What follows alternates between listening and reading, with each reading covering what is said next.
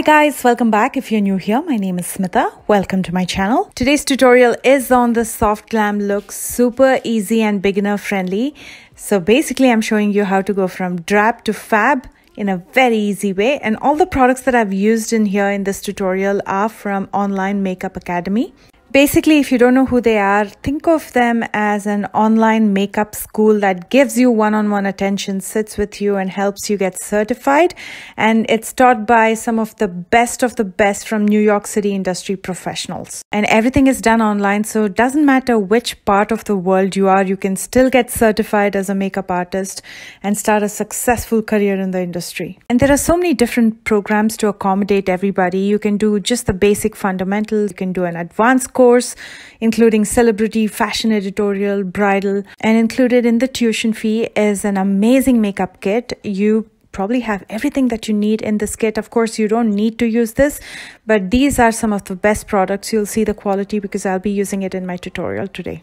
Or you can also do SFX. So whatever you prefer and at the convenience of your time they never hurry you to finish up or submit assignments on time. So you can take your time you can take it slow especially if you're doing other things like going to school or work and you don't have the time you can go at your pace. The main difference between a youtuber like me who's trying to teach you versus an online school like that is one you can learn to do makeup on someone else other than yourself and become a pro makeup artist.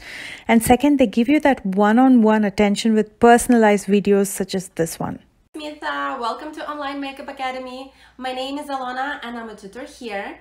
So I'll be seeing your work, your progress and giving you tips on how you can improve. And if you feel like you're a pro at makeup, so you don't want to sign up for any of those courses, but you suck at hairstyling, they have a course for that as well. So if you've been waiting this long to get certified by an amazing makeup academy or become a professional makeup artist and learn from basic to advanced to SFX, what have you, you can check them out. I've listed their website and social media links in the description box below. And I'd like to take this moment to thank Online Makeup Academy for partnering, collaborating with me on this tutorial and also sponsoring it. And as I mentioned, I'm going to be using all these professional products from the Academy to create this super easy soft glam so you can do it too. Let's start with skin prep. As usual, that is the first step. So I'm going to be using the step one primer. This is a skin equalizer from Makeup Forever.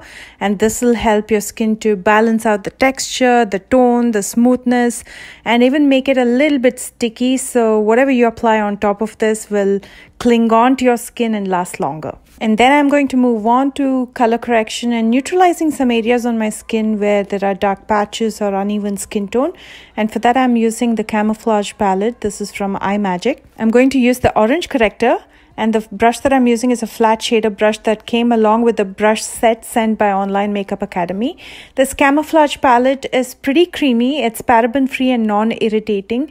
And as you can see, it helps to neutralize all the uneven skin tones and patches that I have on my skin. So it preps your skin pretty well before we move on to the next step.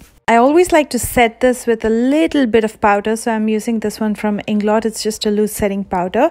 I like to set it so it doesn't mix with the foundation that's coming up next. And the brush that I'm using is actually a foundation brush. Again, came with the same set. The foundation I'm using one of my all-time favorites like in my lifetime uh, that's quite a statement but i used to use this on brides all the time when i used to freelance this is the ultra hd foundation by makeup forever I'm just trying to be a little fancy shancy today and using the metal plate that they sent me. And this is a stippling brush. Easiest way is to stipple, especially when you have color correction. You don't want to use a harsh brush and drag and pull the foundation on you because that's going to mix with the orange corrector and you'll start looking orange and you don't want that. The foundation shade that I am using is Desert and for reference, I'm an NC35 with MAC. For concealer, I'm using this full cover extreme camouflage cream concealer from Makeup Forever. The Academy sends you three different shades. So I'm going to be using two different shades today, one to contour as well as one to highlight and conceal. For contouring, I'm going to be using shade number 18, which is chocolate. And I'm going to be using it in the usual areas like the hollows of my cheekbones, my jawline, my forehead, and I'm going to just stipple it in using a stippling brush, a smaller one this time. And to contour my nose, I'm using a flat shader brush.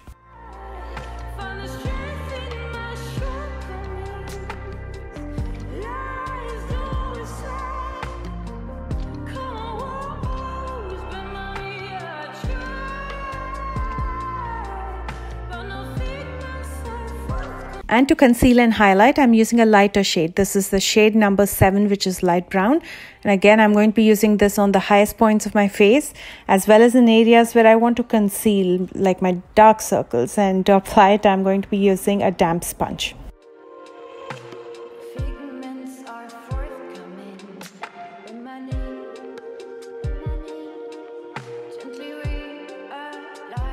Using the setting powder from Inglot, I'm going to set in areas where I applied the concealer first to prevent it from creasing. And then I'm going to lightly dust the powder all over my face and neck to set it. And then to lock the base makeup in, I'm going to be using the Inglot Makeup Fixer. This is a setting mist. So this will help also to melt all those powders on your face and make it look more like skin. For my brows, I'm going to be using the Makeup Forever Pro Sculpting Brow Palette. I'm using the deepest shade in here and I'm going to apply it using a soft angled brush and focus in areas where I have those sparse and bald spots uh, first on the top part of my brows and then in the lower part of my brows. And then to clean up underneath the brows, I'm again using the Makeup Forever concealer in the shade 7. I'm lightly setting my lid to prevent the concealer from creasing. This is optional if you don't have too many fine lines or you know crease lines, you don't have to do this. With the set, I received two different eyeshadow palettes. One is the iMagic eyeshadow palette, which is absolutely beautiful. Look at those colors, they look so rich. But today I'm going to be using the Online Makeup Academy Eyeshadow Pro palette just to test out the texture, the color, the pigment payoff, and just how it blends. I'm going to first dip into the soft brown shade and place it in the outer and inner corners using a blending brush. And then I'm going to blow it out and soften it. I'm going to focus the eyeshadows in the corners and leave the center of the lid blank for a shimmery shade. What I'm trying to do here is to build a spotlight eye look. You know, it almost looks like a spotlight right in the center of the lid where we'll be using a shimmery shade which will draw more light, more attention to the center of the lid and that'll look like a spotlight.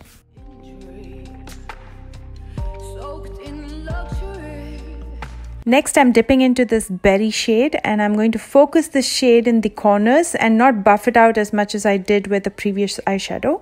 And again, I'm using the same blending brush, doing the same exact thing that I did previously, but I'm going to focus the eyeshadow to deepen the corners. And then I'm going to repeat the two steps in my lower lash line as well. First, dipping into the brown shade using a flat shader brush.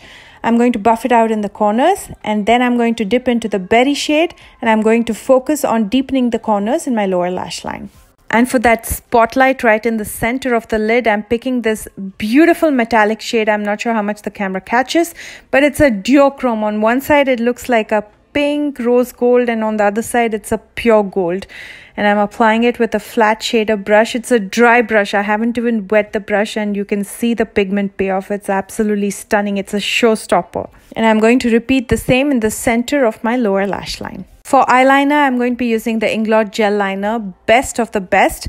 I'm going to be using this in the waterline as well as to line my top lash line, pulling out a small wing in the outer corner.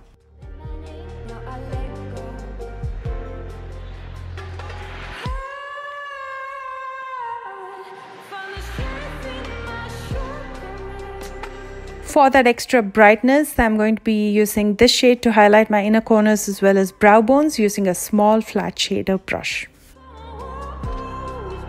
It's time to finish up with some mascara and false lashes. For mascara, I'm using this one from Makeup Forever.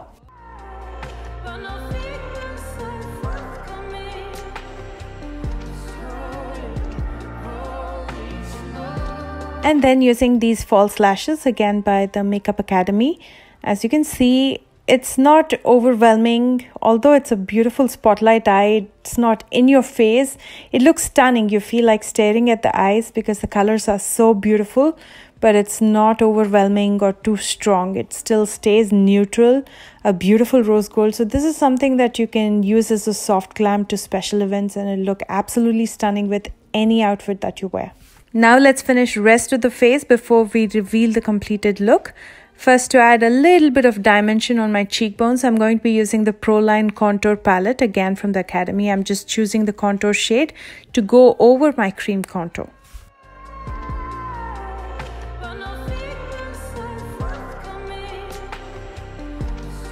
And from the Proline blush palette, I'm going to be using this shade of blush.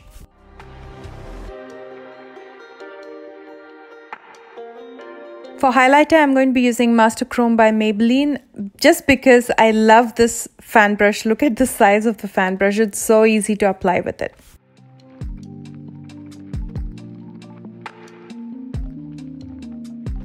They also sent me the Proline lip palette. Look at those beautiful colors. And nice thing is you can make your own color by mixing a couple different lipsticks. You have the metal plate anyway. Today I'm going to be using this shade. Using a lip brush, I'm going to be only applying it in the borders because I want my lips also looking very soft today. And right in the center, I'm going to be using a lip gloss.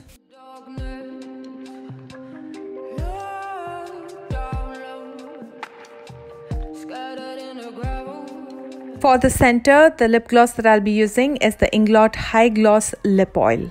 Look at that shine so beautiful. I know that the camera catches some of it, but it's nothing close to what you see in person. Let's look at the before one more time.